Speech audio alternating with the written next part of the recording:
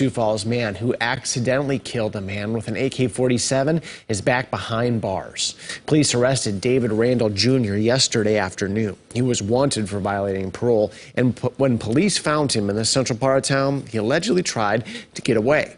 Police say he hit a squad car, drove up on the sidewalk, and hit a retaining wall. Inside his car, authorities say they found several pills. In this latest case, he faces drug and aggravated assault charges. Randall first made headlines in 2015. He was drunk and high when he shot and killed a man.